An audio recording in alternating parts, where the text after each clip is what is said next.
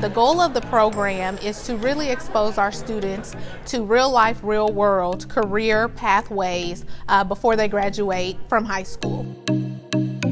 Five years ago, we started with 23 students and seven local businesses hosting students. Over the last five years, nearly 200 interns have completed the program, and we now have around 40 local businesses that are willing to host our interns each spring semester. I think it's like the best way to actually see how people work. You can learn about it as much as you want, but you really get in there and you talk to all the people, get their all their experiences, and you experience it for yourself. It's nice to get a head start.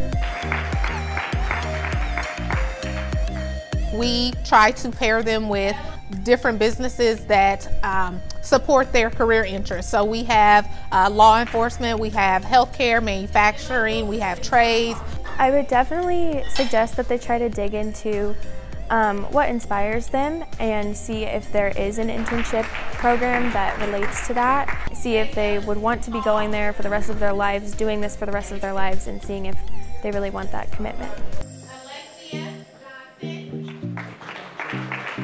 I shadowed different attorneys since I was interested in that kind of field. They let me shadow different attorneys.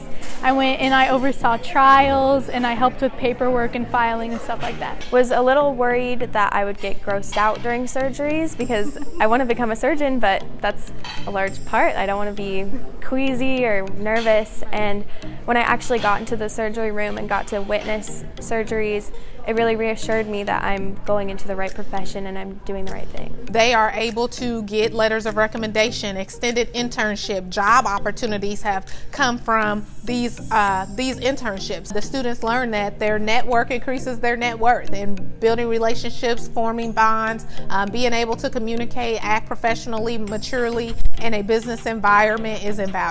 You should try to do everything to the best of your abilities and be happy and make everyone else's life better as well as your own.